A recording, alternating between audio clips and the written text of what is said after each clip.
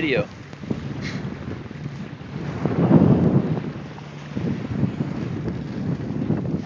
We're in the middle of the Potomac. Beautiful May day. I call this brisk winds. Moderate seas.